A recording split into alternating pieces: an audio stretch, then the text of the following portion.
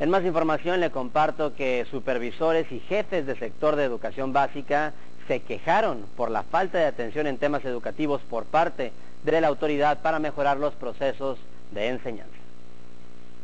Nos reunimos en comisión con el propósito de buscar ante la autoridad educativa la solución de los problemas que aquejan a la educación básica de Baja California.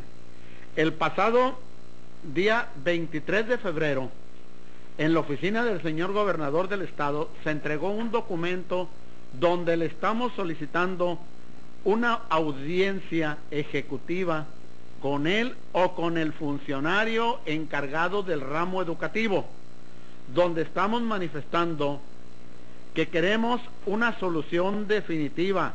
Tenemos grupos sin maestro, cambios constantes de maestros, hay escuelas, hay zonas donde en el año hasta cuatro maestros tenemos en el transcurso de un año escolar.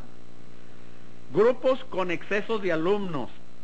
Cuando en preescolar no debe haber más de 25 niños, nos tienen grupos hasta de 35 alumnos. Las escuelas de tiempo completo que tanto alarde hace el gobierno del Estado. En el turno vespertino nos hacen falta más de 56 docentes frente a grupo. ¿Cómo quiere el señor secretario de Educación, el señor gobernador, elevar el logro educativo?